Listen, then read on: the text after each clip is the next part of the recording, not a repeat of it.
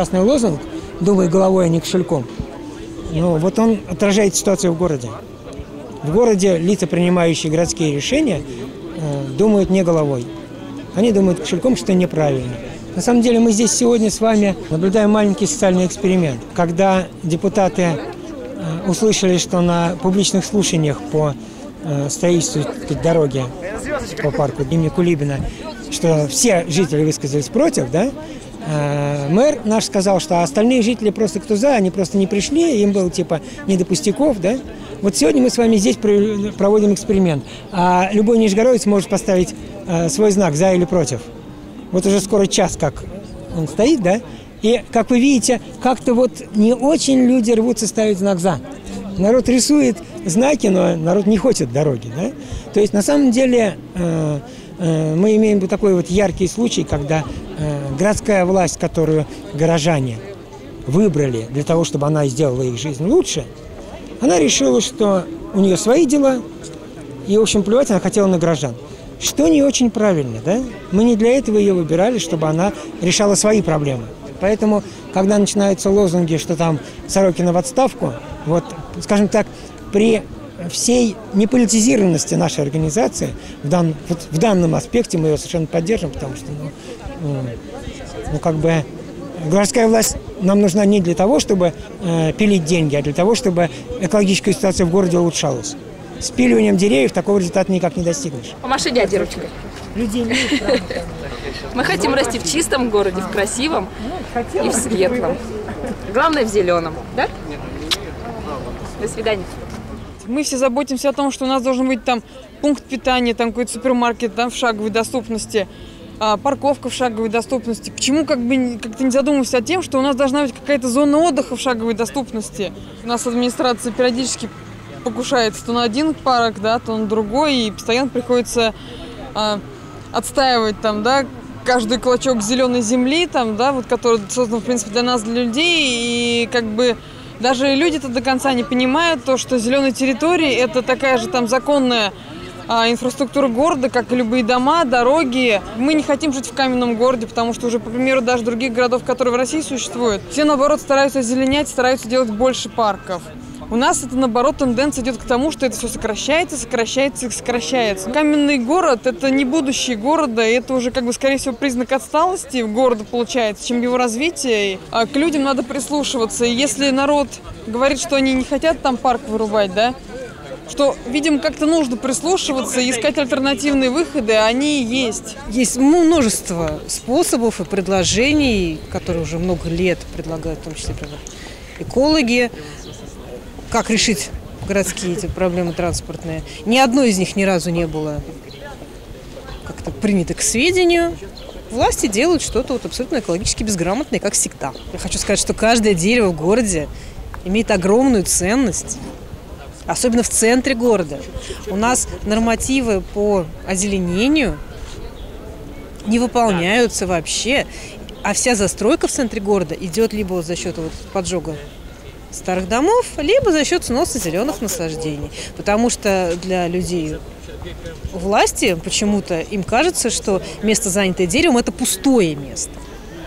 Это, видимо, так вот в голове устроено, что если это киоск, это место занято. А вот если там стоит дерево, это место пустое, с ним можно делать что угодно. То есть абсолютно нет у людей в голове ценности природы. Но если говорить конкретно о городских депутатах, вот те, кого приходится наблюдать, они абсолютно экологически безграмотны как, собственно, и, естественно, и практически все люди у власти, это не нужна какая-то область знаний для них, которые они не обращают внимания. И к нашим голосам они абсолютно не прислушиваются. Я пришла сегодня поддержать людей, которые против вырубки Кулибинского парка. И известно, что наши депутаты городской думы приняли решение, что для расширения улицы Горького нужно вырубить два ряда деревьев в парке Кулибина вдоль улицы для того, чтобы, видимо, очень быстро ездить с площади Горького до площади Свободы, потому что больше эта улица никуда не ведет. И вообще транспортные проблемы города настолько запущены, что решать их, вот пытаться их решить путем вот вырубки деревьев, это просто цинизм. Для меня предпочтительнее все-таки зеленый ландшафт, потому что все-таки мы дышим кислородом, который выделяет растительность. Вот, и дорог так предостаточно, а деревьев становится все меньше, особенно в Нижнем Новгороде с каждым годом. Я никак не могу понять, почему необходимо именно здесь делать широкую дорогу. И больше всего меня не то, что возмущает, а трогает до глубины души, задевает то, что дорогу хотят сделать на месте кладбища. Я не понимаю вообще, как можно ездить по гробам, по костям. Здесь вообще пантеон надо строить на месте этого кладбища. Я не являюсь религиозным человеком, но меня это возмущает. Я этого не понимаю. Не понимаю, как, как человек, вот просто.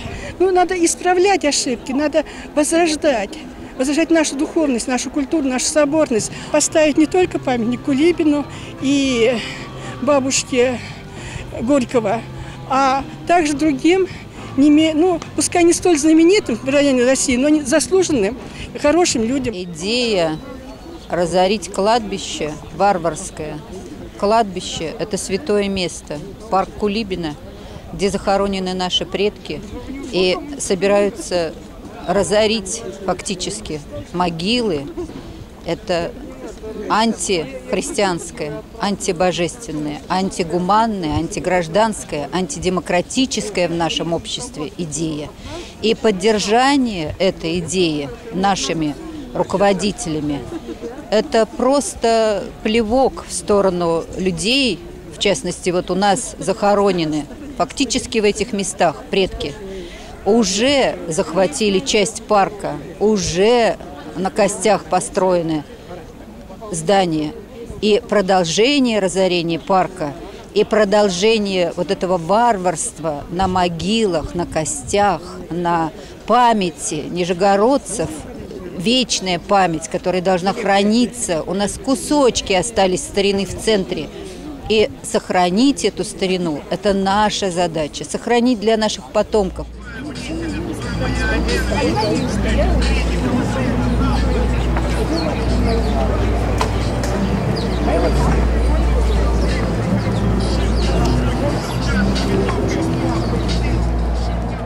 В древности Бога называли род, а тут слово природа, родина, родники и так далее. То есть мы живем в природе, на природе.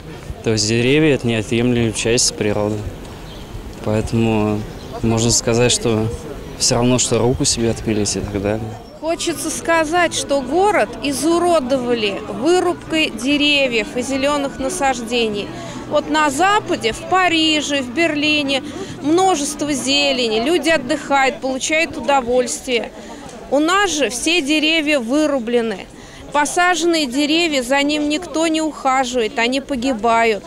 Люди болеют онкологическими заболеваниями, людям негде отдохнуть. Нам не нужны развлекательные центры, нам нужно здоровье, зелень, отдых нормальный для людей.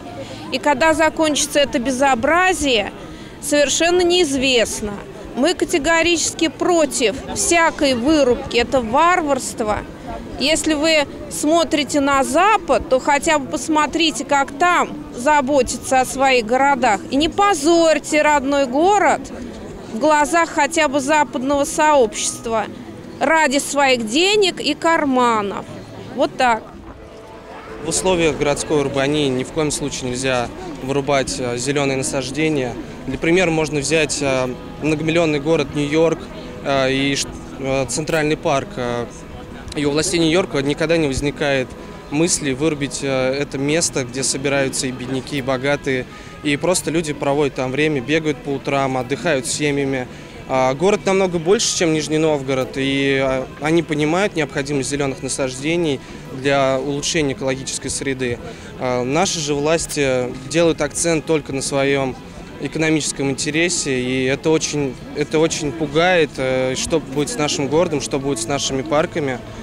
Это плачевное состояние на сегодняшний день какой-то свой интерес преследуют политики наши нижегородские. Чисто личная выгода. Надо учитывать мнение жителей города э, и в первую очередь э, мнение местных жителей, которые проживают около этих парков, потому что они наиболее заинтересованы в этом. Я, наверное, выберу парк.